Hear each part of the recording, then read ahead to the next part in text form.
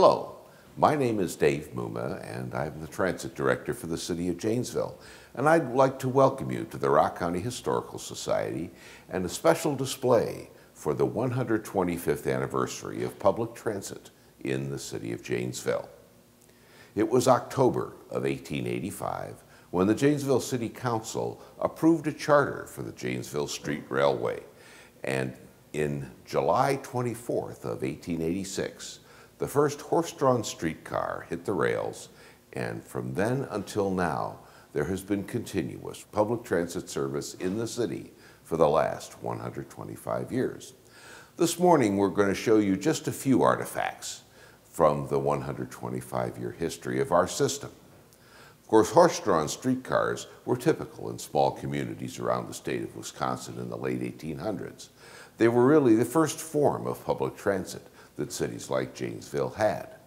However, it wasn't long before the latest technology of the time, the electric streetcar, made its appearance here in Janesville. So in 1892, the entire system was turned over to electric streetcars with the first runs occurring on May 30th of that year. Throughout the 1890s and into the early 1900s, streetcar development within Janesville continued and in 1902, the Rockford, Beloit, and Janesville Interurban Electric Railway arrived in town, connecting the three cities in its title. One of the first artifacts we have this morning is memorabilia of that time, a tie and spike from the RB&J, which was taken out of South Franklin Street in Janesville. The RB&J used standard railroad construction with wooden ties and uh, iron spikes to hold the rails to the ties.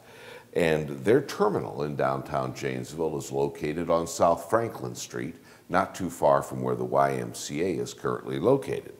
And this was recovered from South Franklin Street back in the late 1980s.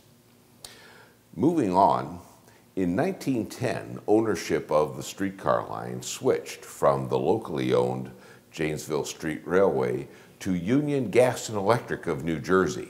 Why in the world a company from New Jersey would invest in a streetcar line in Janesville, Wisconsin has all to do with the business of the time. But when Union Gas and Electric came to town, they did a major recapitalization of the line. And one of the things they did was install new rail. And this piece of rail down here in the display case dates to 1910 which was the last time new rail was put into the streetcar system. Uh, this particular piece of rail was removed from the intersection of North Washington Street and West Memorial Drive in approximately 1980. It's important to note that North Washington Street was really the site of the original streetcar run in 1886 and remains to this day uh, part of our transit system here in Janesville. Finally, we see a couple of later shots from the streetcar years. First of all, the Corn Exchange transfer point in downtown Janesville, which most people nowadays associate with the Doughboy Memorial and the memorial to the Janesville Tank Company. But for many years, the Corn Exchange was the focal point of the transit system in Janesville and in this picture, we can see two gentlemen walking towards one of the Birney style streetcars that operated the last years of streetcar service on the system in the 1920s. And speaking of the Birneys, we'll talk about a little innovation that came to public transit in Janesville in 1920. And moving over to the Johnson Registering Fare Box. Now, most of us nowadays are very familiar with the fact that when you get onto a public transit vehicle, you put your money in a fare box that doesn't look a whole lot different than this a hundred years later. But it's, this was a major revolution in the public transit industry at the time it was introduced in 1909 because it allowed the streetcar companies to replace the conductors on their streetcars and that conductor's wages with a mechanical device that would receive and count the fares on the streetcar, meaning that the motorman could both operate the streetcar and collect the fares, something that required a second individual, the conductor, in the years before that. So this was a great revolution it was introduced in Janesville in 1920 with the onset of the Birney-style streetcars. Streetcars continued in Janesville until 1929 and at that time the system was sold by Union Gas and Electric to the Wisconsin Power and Light Company. Now, conventional wisdom would say that the electric company would continue operating electric vehicles. However, WP&L realized that there were real savings to be had by introducing buses and replacing streetcars. And when you think of it, in order to change a streetcar line, you have to lay new tracks, string new wire, and it's a very capital intensive uh, operation. In order to change a bus route, you simply hand the driver a new set of instructions. So WP&L went forward with buses and in July of 1929, WP&L introduced the first bus service into Janesville. On July the 18th, 1929, the first buses in Janesville rolled into town, operated by the Wisconsin Power and Light Company. These U-model yellow coach buses, and yellow coach, by the way, later on became the GMC truck and coach division of General Motors. So from the very beginning, uh, Janesville had General Motors built buses operating in the community, uh, provided the first service here and were in service up through the 1930s. WP&L marked their routes with the Orange Line sign, which was their brand, and operated buses not only in Janesville but throughout southern Wisconsin in places such as Fond du Lac, Sheboygan, later on in Beloit, and with intercity service going to places like Monroe and Fond du Lac and Madison from Janesville. Uh, WP&L was one of the largest public transportation operators in the state and like a lot of electric utility companies got into the transit business early and stayed in the transit business until the mid-1940s. Bus tokens, of course, are a staple of the business. And our display here shows a number of bus tokens over the years, which include early J tokens, which actually go back to the streetcar days, uh, Union Gas and Electric and the Janesville Traction Company from 1910. These were followed by the W tokens issued by, obviously, Wisconsin Power and Light, and between the years of 1929 and 1944. The J token returned in 1944 after WP&L got out of the city bus business and the locally owned Janesville Bus Company took over. All of these tokens were actually used by the city after the city took over the service until the mid 1970s as fare. And many people still find old J and W bus tokens uh, in dresser drawers and, and other places when they're cleaning out homes of elderly relatives. And we do still get people bringing them in wondering if they're worth anything, which unfortunately they're not, other than the memories that are involved. Bus tokens continue to be used, of course, even to this day, and part of the display shows a comparison of the old J bus tokens with the ones that the Janesville Transit System currently issues. It's probably a very, very early uh, example of being green about something that you use in your business. The tokens are infinitely reusable and uh, replaced uh, during my time here at JTS paper tickets, which were one use and throw away. The system continued to grow over the years. WP&L had bus replacements throughout their term of operation. Uh, a number of years ago, a citizen brought in a picture here from 1935, which shows three buses that were added to the fleet in that year. They were Chevrolet buses, and while we don't know for certain that the chassis were built here in Janesville, uh, it's entirely possible that that's the case. Moving on through the years, we talk about a particular individual who was involved with uh, Union Gas and Electric, WP&L, and the city uh, in operating transit systems for over 50 years. This gentleman's name was Ernest Kleimenhagen, and Ernie hired out as a streetcar motorman in about 1925 with Union Gas and Electric, changed over to a bus driver with WP&L in 1929, and continued his career through the Janesville Bus Company and city ownership finally retiring in about 1975. Uh, I knew Mr. Climenhagen personally when he still came to our Christmas parties in the 1980s, and it's interesting to note just by happenstance that this week uh, his wife Beatrice passed away at, at the age of 98 in the same week that the transit system celebrated its 125th anniversary. Public transit systems generally are very concerned about safety and the image that they portray to the public about their safety. And in speaking of Mr. Climenhagen and his history, you'll see here a number of the safe driving awards which he accumulated over the years. The little steering wheels indicate a higher level of safe driving award. And a large insurance company back at the time called Markel, for the M that you see on those awards, issued these to the drivers of their policyholders as an encouragement and an inducement to continue to drive safely over the years. And the drivers uh, wore these awards with great pride. In some cases, even under a union contract, it meant more money for them uh, to earn a safety award.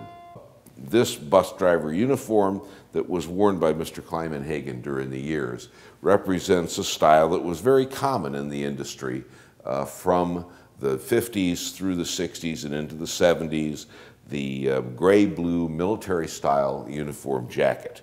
When the city took over the operation in 1952, the triangular Janesville Bus Department patch was worn on the shoulder of the uniform, and employees still wore Janesville Bus Company cap badges on their military-style caps, and Mr. Climenhagen's cap badge number five uh, is shown here as well as part of this display.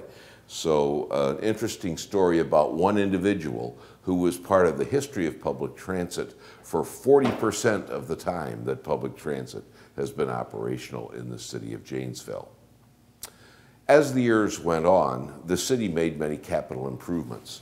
And the, Janesville was actually the first municipality in the state of Wisconsin to take over the ownership of its bus system, and that occurred in June of 1952, following a public referendum when 3,045 people voted yes to the city takeover compared to a slightly over 500 no's. And so Janesville became the first community in Wisconsin to own and operate its bus system as a municipal entity and it has continued, of course, uh, under city ownership and operation until this day.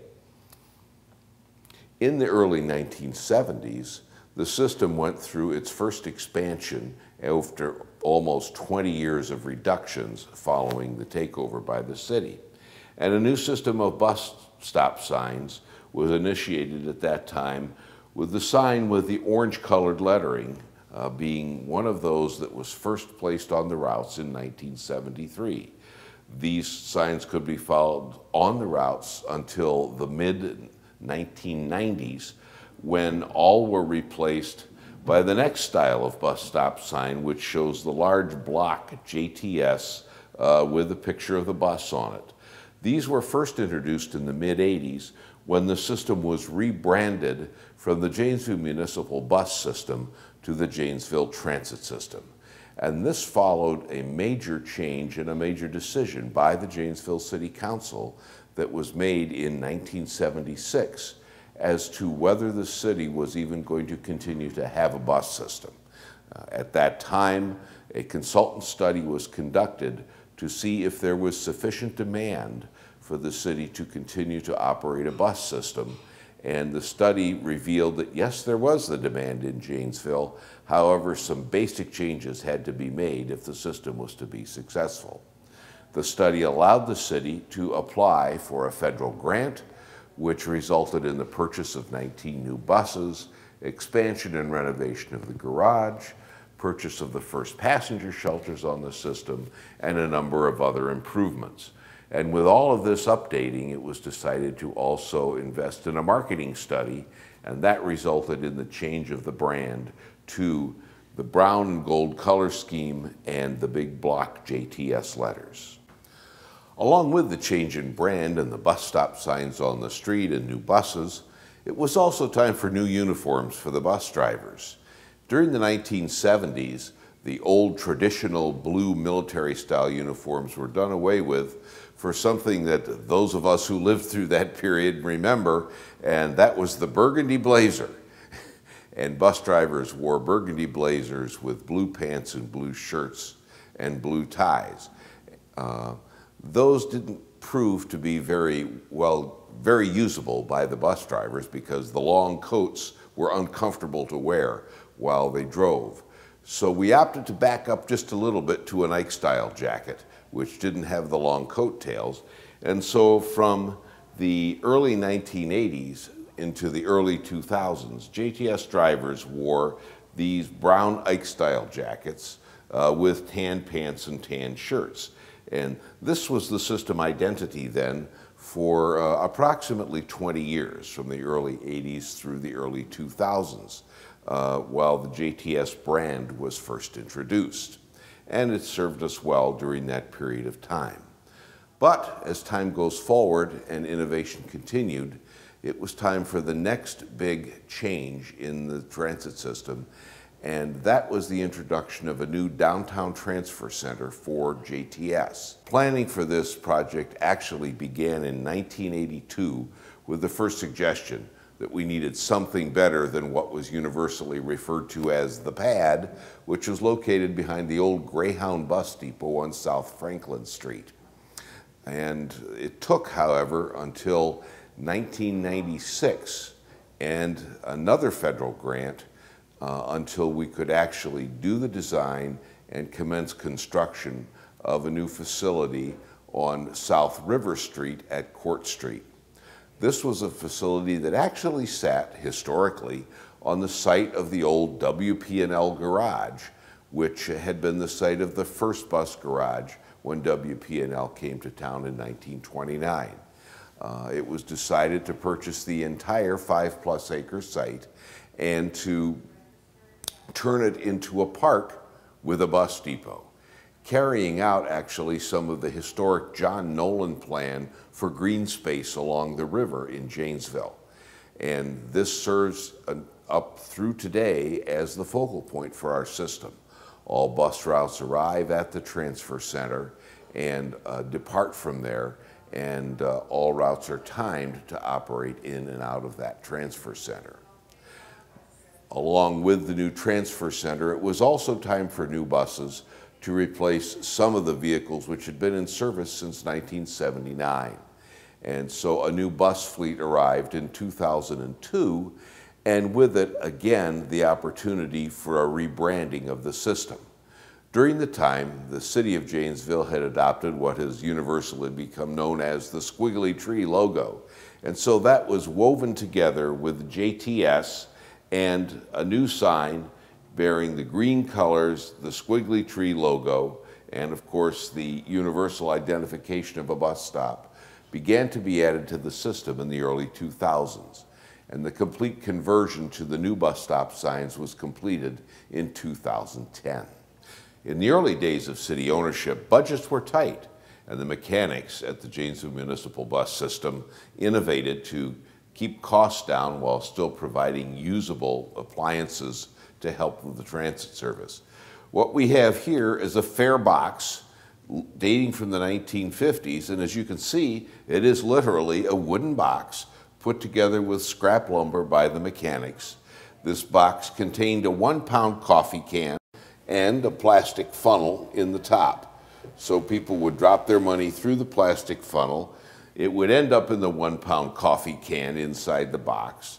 The box was secured with a hasp and a padlock, and this in turn was fastened to the vertical stanchion on the bus.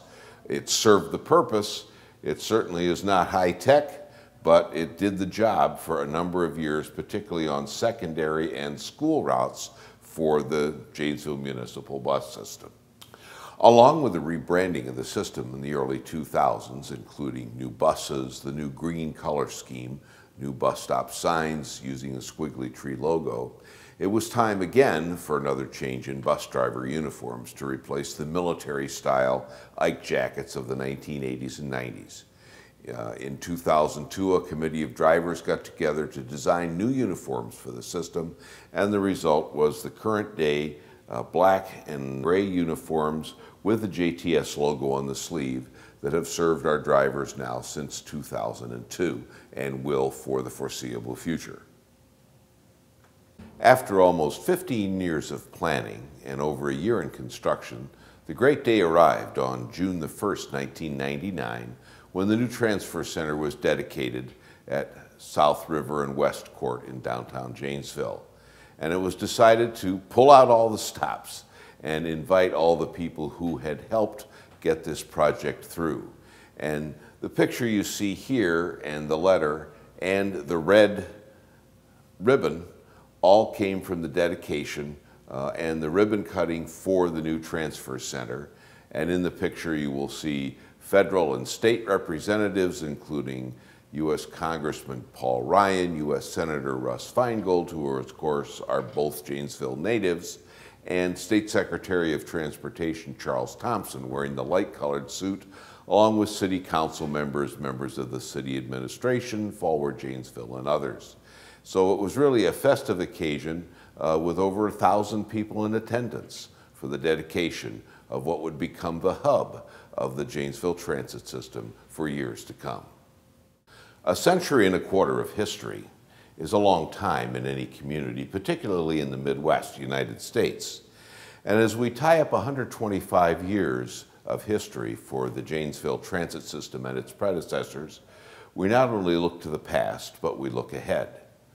The biggest project that the JTS currently has on the horizon is the replacement of our current 50-year-old operation and maintenance facility, uh, which most people would refer to as the bus garage, with something that will take us forward for the next 30 to 50 years.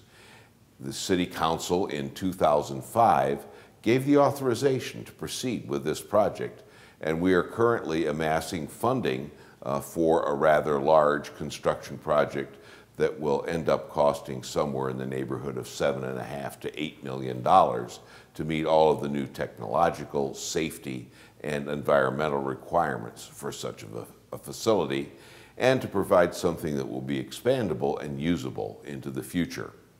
So as we look at our past, as we honor our past, and the people and the events that have spread across the previous century and a quarter, we look forward to the next 50 years and the Janesville transit system continuing to serve the citizens and the community of Janesville with reliable, safe public transportation service.